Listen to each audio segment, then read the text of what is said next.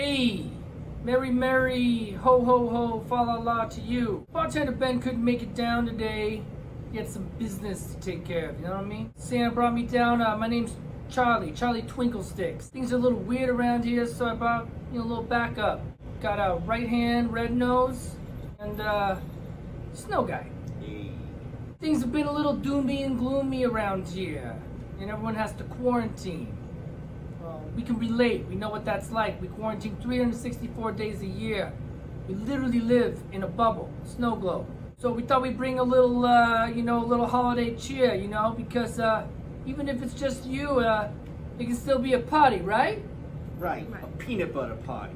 That's right, a peanut butter party. So uh, we named this first drink uh, Buddy the Elf.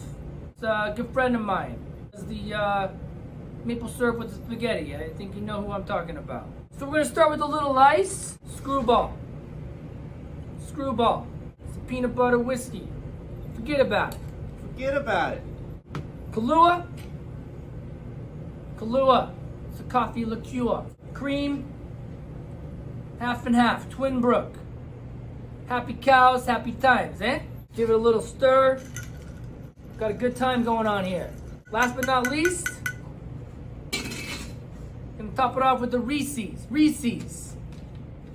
Reese's. Why? Gotta live a little, huh?